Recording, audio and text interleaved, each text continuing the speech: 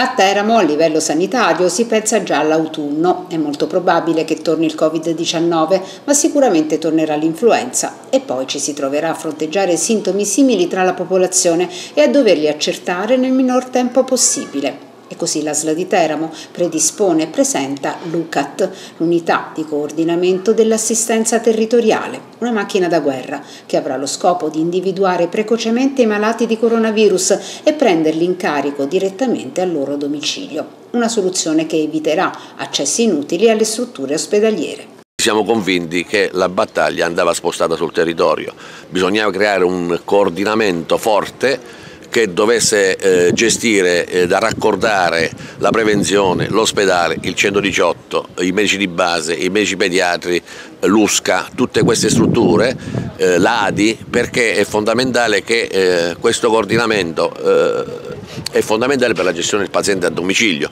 perché eh, dobbiamo evitare il più possibile che gli ospedali vengano intasati, soprattutto quando le cure consentono al paziente appunto di stare a casa. Alla presentazione dell'UCAT a Teramo è intervenuto il direttore del Dipartimento Sanità della Regione Abruzzo Claudio Damario che ha annunciato una stretta sorveglianza anti-Covid soprattutto per le case di riposo. Gestione del Covid all'interno delle case di riposo dell'Abruzzo è andata molto bene, è stata una fortuna o è stata una buona prevenzione? Il monitoraggio delle case di riposo non è stato diciamo, un colpo di fortuna, è stato il risultato di una buona organizzazione territoriale.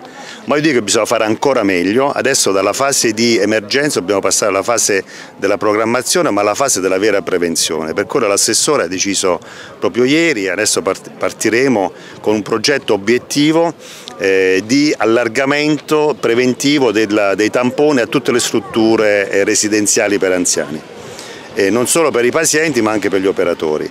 A questa diciamo, attività eh, di prevenzione corrisponderà nell'ambito della nuova campagna antinfluenzale anche una vaccinazione preventiva di questi pazienti ospitati nelle case di riposo.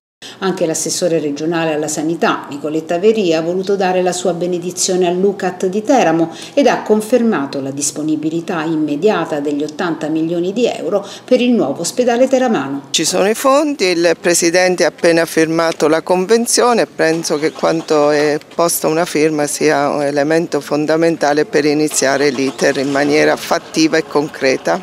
E sulla nomina dei nuovi manager? È appena uscito l'elenco, penso che in settimana, nei prossimi giorni, avremo i nominativi.